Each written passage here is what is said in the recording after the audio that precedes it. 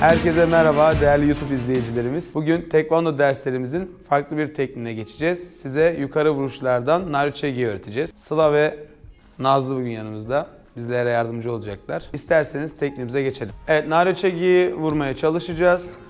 Şimdi duruşları, guard duruşunu ve e, tekniği göstereceğim. Ellikleri hazırlayalım. Evet Naruchegi yukarı seviyeye yapılan bir vuruş. Kafa seviyesine vuracağız. Bu yüzden hedefi olabildiğince kendi boyumuzun hizasında yani kendi kafamızın hizasında tutmamız gerekiyor. Şimdi vuracağımız ayak geride arkadan gelecek. Dizimizi yukarı doğru çekerek ayağımızı kafa seviyesine savuracağız. Ayağımızın altıyla vuruş yapacağız. Ayağımızın alt kısmıyla vuruş yapacağız. Dizimizi yukarı doğru çekerken ayak parmak uçlarımızı da kendimize yakın olarak çekeceğiz. Ayağımız 50'yi geçene kadar savuracağız. 50'yi geçer geçmez ayağımızı aşağı doğru indireceğiz. Yukarıdan aşağı bir vuruş yapmış olacağız. Şimdi Nazlı birkaç deneme yapsın. Teknik detaylarını da sizlere anlatacağım.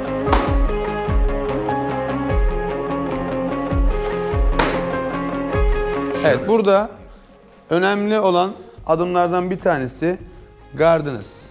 Gardınızı çok kapalı tutmamanız gerekiyor. Çok da açık olmaması gerekiyor. Kendinizi en dengeli ve kuvvetli hissettiğiniz bir açı yakalamanız lazım. Sonrasında yerden bir kuvvet alarak dizinizi yukarı doğru savuruyorsunuz. Yukarı doğru savuruyorsunuz. Sonra ayağımızı dizin en yukarı seviyesinden sonra ayağımızı açmaya başlıyoruz. Açtıktan sonra ayağımız 50'yi geçiyor.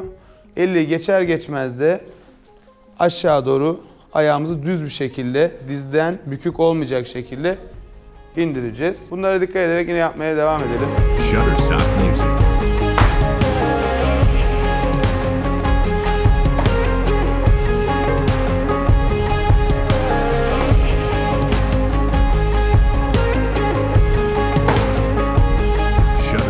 Dizi ne kadar yukarı doğru çekersek ayak o kadar yukarı rahatça kalkacaktır. Yerdeki ayağımızda tabii ki e, bir ayak yukarı savrulurken yerdeki ayağı da pençede kuvvetli bir şekilde yere basmamız gerekiyor. Yere kuvvetli basamazsak ayağımızı savurduğumuzda kayma, denge bozuklukları ve düşmelere sebep olabilir. Dizimizi, şey, ayağımızı yukarı savururken yerdeki ayağımızı da yere güçlü basacağız ama topuğa basmayacağız. Topukta olmayacak. Topuğa basarsak ayağımızın daha yukarı savrulmasına engel olmuş oluruz.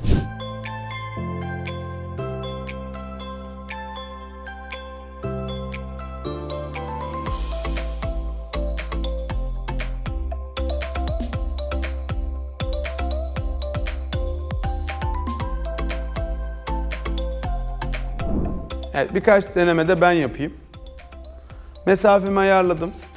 Dizimi olabildiğince yukarı savuracağım.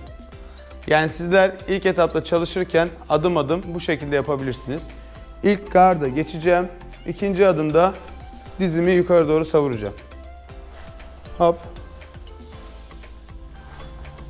Zaten dizinizi yeteri kadar esnekliğe sahipseniz dizinizi yukarı savurduğunuzda neredeyse 50 seviyesine kadar gelmiş oluyorsunuz. Yeteri kadar esnekseniz. Esnek değilseniz ayak çok fazla kalkmaz.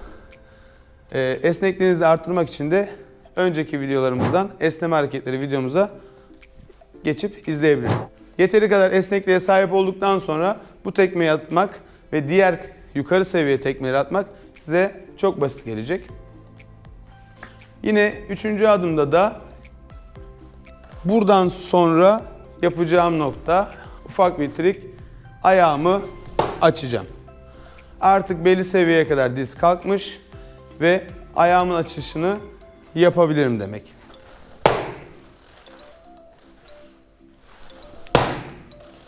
Evet. Burada ayağı 50'ye vururken ya da vuruşunuzu bitirirken tamamıyla ayak altını, ayağınızın tabanını 50'ye basmanız gerekiyor bu şekilde. Aşağı bir kuvvet uygulamanız gerekiyor. Aşağı kuvvet uygularken kuvvetin tamamını uygulayabilmeniz için dizinizi gergin yapmanız lazım. Şu şekilde indirmeyeceğiz. Bu şekilde ayağımızı düz bir şekilde indireceğiz. Yani dizden bükük olmayacak, gergin olacak.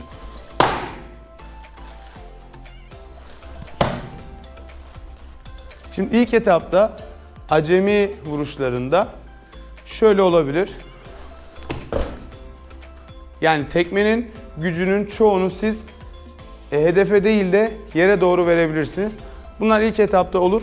Ayak hakimiyetiniz arttıkça bu azalacaktır. Yani şuradan bu vuruşlardan daha da ayağınıza hakim olduğunuz vuruşlara geçeceksinizdir. Tekrar çalışmaları tekmeyi daha iyi yatabilmek için ilk önce başlangıç seviyesi olarak daha aşağı seviyeleri seçebilirsiniz. Karın hizasında tekme yatmaya başlayıp ayakların, ayağınızın esnekliği arttıkça ya da ayağınız alıştıkça yukarı kaldırabilirsiniz. Ee, bu şekilde çalışabilirsiniz.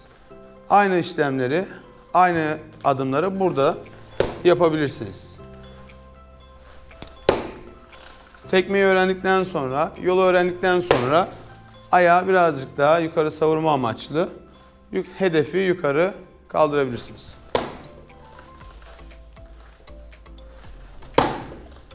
Bu şekilde daha yukarı, daha yukarı şeklinde ayağınızın esnekliği arttıkça, bacaklarınız kuvvetlendikçe ve bol tekrar yaptıkça çok daha iyi tekmeler atacaksınız ve yukarı seviyelere kadar çıkabileceksiniz. Tekme attım ya, attıkça aşağı indi ha. Kulağıma doğru. Evet bu tekmemizin sonuna geldik. Bol bol tekrar ediyoruz ve vücudumuza tekmenin yolunu tamamıyla öğretiyoruz. Serimiz devam edecek. Bizi takipte kalın. Yorum yazmayı ve beğenmeyi unutmayın. İzlediğiniz için teşekkür ediyoruz. Sonraki videolarda görüşmek üzere. Sağlıcakla kalın, bizde kalın. Nasıl? Onu kesersin Ali, Ali halleder. Söyleyeyim sen aralarından en yakışıklı olanı seçersin. Bugünkü tekniğimizin sonuna geldik. İzlediğiniz için teşekkür ederiz. Takipte kalın, kendinize iyi bakın. Alkış.